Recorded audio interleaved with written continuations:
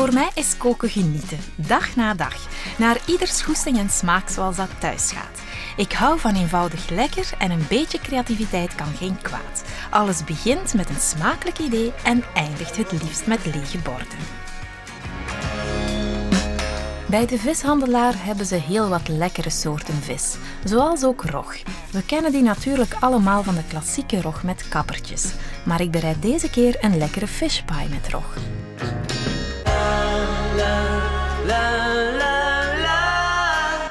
Vandaag kook ik met vis. En hier is iemand heel speciaal bij mij om die vis te leveren.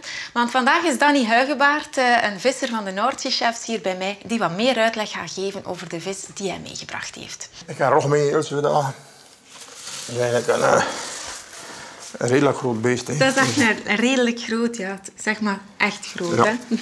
Dus we gaan hier eigenlijk kost niet, dus eigenlijk de vleugels nog niet. Dus eh, de kaken van de kaken of roggebol eigenlijk, dat gaan nog niet straks. eh. en toen moet je hier maar zeggen wat stuk jij nodig hebt. Ik heb gewoon een stukje filet nodig, dus niet veel speciaal, gewoon een stukje roggefilet. Ga ik u aan de slag laten gaan, want ik heb ook nog gewerkt, want er moet natuurlijk ook nog gekookt worden vandaag. En vandaag maak ik eigenlijk een stoofpotje met die rog. We gaan een fish pie maken. En daarvoor heb ik al gekookte eieren nodig, dus die kan ik al aan de kook brengen. Ik ga er vier koken. En die eitjes die moeten hard gekookt zijn. De eitjes die zijn aan het koken en ik ga een bechamelsaus maken. Dus met bloem, een beetje melk en boter ga ik die maken. We maken die ook voor veel gratins. Hè. Denk maar aan witloof in de oven bijvoorbeeld. En waar moet ik nu vooral op letten? Omdat vis nog vaak heel wat vocht afgeeft, dat die saus zeker dik genoeg is. Dus ik begin al gewoon op de normale manier met de boter te smelten. Ik heb ongeveer een 50 gram boter nodig. En die kan ik ondertussen al op een zacht vuurtje laten smelten. De klopper of de garde, die houd ik al bij mij. Want ze moet ik straks alles snel een beetje roeren. Hè. Dus van zodra dat die boter gesmolten is, kan daar de bloem bij. En dat is dezelfde hoeveelheid. Dus als ik een 50 gram boter gebruik, dan heb ik ook een 50 gram bloem nodig.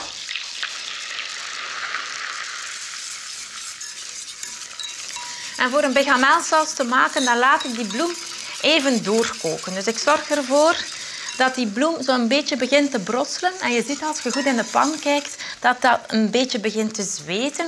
En dan gaat die bloemsmaak weg. Want als je te snel de melk zou, of een ander vocht zou gaan toevoegen, dan kan het soms zijn dat je die bloemsmaak blijft smaken in je saus. En dat is eh, niet zo lekker. En in het begin wordt dat dan weer een beetje stijver. En dan is de bedoeling dat ik melk toevoeg. Maar we blijven roeren. Dat is vooral één raad die ik kan geven. Blijven roeren en blijven kloppen. En dan zie je dat alles weer goed komt. De bechamel heeft de dikte die ik wil. Dus die melk die kan terug in de koelkast. En lukt het hier bij u dan niet? Ja, ja, ja. Als je me niet oordeelt, is het ongewezen. Als de mensen stil bezig zijn, dan zijn ze goed aan het werken. Voilà, dat is goed aan het paard. Kijk eens, is goed. Nu, voor die bechamelsaus ga ik ook kruiden gaan fijn hakken, want ik wil dat er heel wat smaak zit in die bechamelsaus. Dus drie kruiden, munt, dille en peterselie. En ik neem van elk kruid ongeveer een handvol. Dus een handvol dille, een handvol peterselie en ook nog een handvol munt. Dus die kruiden kunnen fijn gehakt worden, maar mijn eitjes die zijn ondertussen hard gekookt. Dus die ga ik snel afgieten, want die moet ik ook spoelen. Als je hard gekookte eieren gewoon laat afkoelen, dan kan het soms zijn dat er zo rond die dooier een eh, zwart randje komt. En door die te spoelen met koud water heb je dat niet en blijf je mooi die knalgele dooier van het ei zien. Dus genoeg koud water.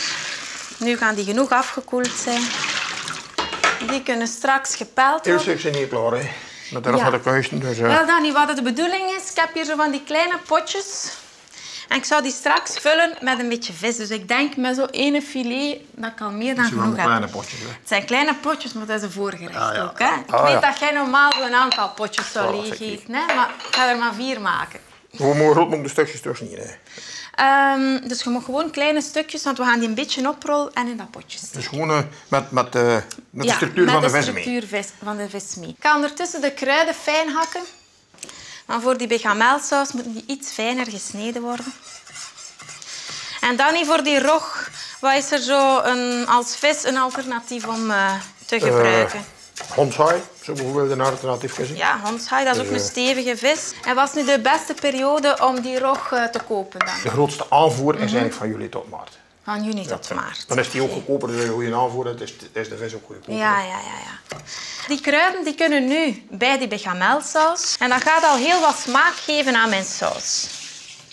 Een smaak van verse kruiden. En ze ziet er dan ook al van de eerste keer helemaal anders uit. Hè. Ze, ze krijgt al een extra kleur door die fris groene kruiden. En er komen ook nog groenten in de saus. En ik kies voor erwtjes. Want erwtjes ja, die zijn klein van formaat en die zijn dan ook nog eens heel lekker bij de rog. Het voordeel van zo'n diepvrieserwtjes is wel dat je die altijd in huis hebt. Ik heb dat in ieder geval altijd in huis, want dat is zoiets dat snel klaar is. En op het moment dat ik niet veel tijd heb, kan ik die snel uit de diepvries halen en hebben we toch lekkere groenten. Wat is Zeker hoor. Wel, wil jij voor mij de eitjes spellen dan? Ik heb ze hier al gezet. Ze zullen al afgekoeld zijn ondertussen. En dan kan ik hier nog wat verder doen met de groenten. Hè. Dat je wel een rare tussen. maar dan, ja, dat is mijn uh, eggtimer. Dat is om te weten wanneer dat eitjes hard of zacht gekookt zijn. Die moeten niet pellen. Hè. En dat verkleurt, verkleurt die toch? Ja, dat verkleurt. Dus als je dat bij je eitjes legt voor te koken, naarmate dat je ei uh, gekookt is, gaat ook, uh, ga je zien, tot dat streepje is je ei gekookt. Dat weer. Dus dat is een voordeel. Je moet er dan geen minutenteller zetten. De eitjes gaan perfect zijn. Ah, nu, bij hardgekookt eieren is, dat, is dat niet zoveel van belang, maar vooral als je een zacht gekookt eitje hebt, uh, is dat leuk. En die mogen gewoon gepeld worden. Van de erwtjes heb ik niet zoveel nodig. Gewoon ongeveer ja, twee handjes. Want het zijn kleine potjes, dus uh, moet ook niet te veel gaan koken. Dat is genoeg. En deze kunnen terug in de diepvries. Wanneer de erwtjes voldoende gaar zijn, dan schep ik die uit de kom en houd ik die nog even apart. En ondertussen heeft Danny alle eieren gepeld. Danny, uh, wil jij de vis nog in de koelkast zetten? Absoluut. Ja. Want voor de saus komt er nog smaak bij. Ik heb hier een onbehandelde citroen en daarvan heb ik de rasp en het sap nodig. Dus al een citroenpers en dan een fijne rasp voor het dunne laagje van die citroen te raspen. En het raspen van die citroen, dat kan ik gewoon boven de bechamelsaus doen. En ik let erop dat ik alleen dat dunne laagje van die citroen mee rasp. Want het witte gedeelte van die citroen die kan soms een beetje een bittere smaak eh, geven. Dus dat heb ik natuurlijk niet nodig. En dat is genoeg van de rasp. Dan wil je voor mij die eitjes in kwartjes snijden. Dus gewoon eerst zo. zo ja, voilà. Want je hebt gezien, mijn potjes zijn zo groot niet en een volledige ei gaat er niet in kunnen. Die saus die ga ik nu ook verfrissen. Niet alleen met de citroenrasp, maar ook met het sap. Dus het sap van die citroen, dat kan erbij.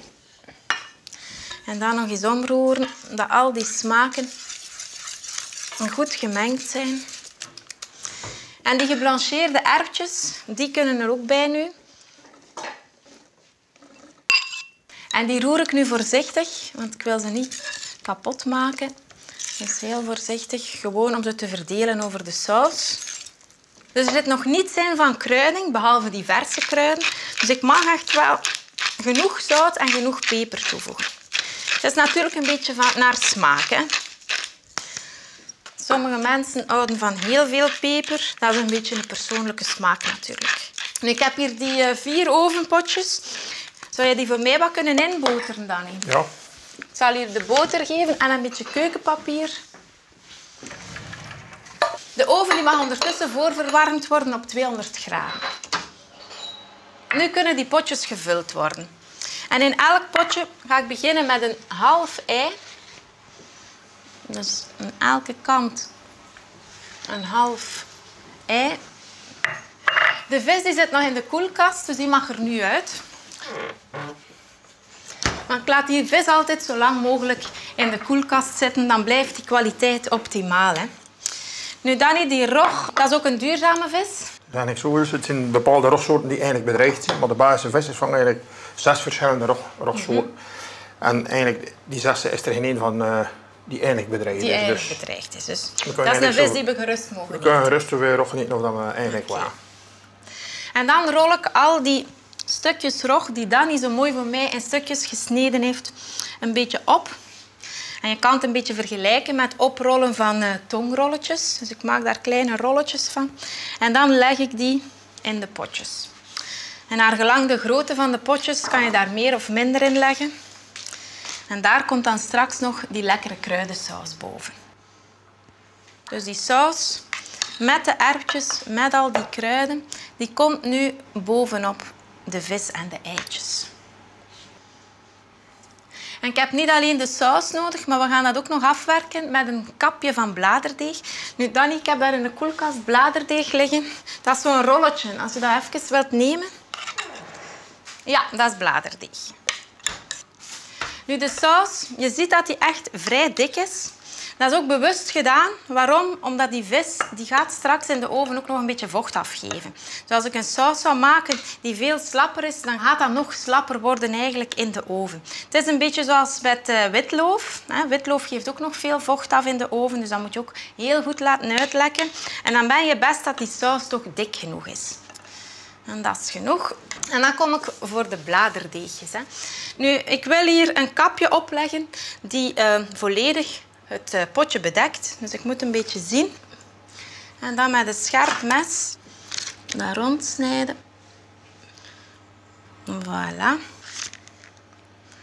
En dat bladerdeegje kan hier nu op. En ik ga die zo een klein beetje helpen en zo tegen die rand door. En waar moet ik nu op letten bij een fish pie, want dat is het uiteindelijk, dat ik daar toch ook een gaatje in maak. Dus dat ik hier gewoon een kruisje maak. Voilà.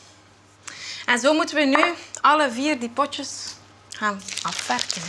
Het is een hele constructie, hè, Dani? Ja, maar het ziet er schoon uit. Hè. Het is de afwerking die het soms doet. Hè. Voilà. Het oog wil ook wat. Hè. Ja. Voilà. Kijk, een keer van een ruildienst dat wij hier hebben. Hè. En dat is al de laatste. Voilà. Nu, dat restje deeg moet je niet weggooien. Want nu dat we toch aan het versieren zijn, wil ik daar nog, uh, nog iets extra aan. Ik zou daar visjes uitsnijden. Oei. Laat uw artistieke kant een keer zien. Dan. Dat versieren we gewoon. ja, dat ziet er al goed uit. Ik ga hier uit mijn inkering. Want je moet nog zijn mondje... Met er heel wat werk aan Zijn mondje moet er nog ja. zijn. Maar lassie. Ik ga ondertussen al een eitje loskloppen.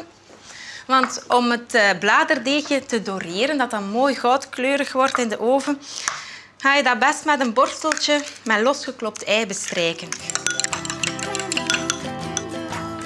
En straks gaan die dan mooi doreren in de oven. Dus die oven is ondertussen op 200 graden goed voorverwarmd.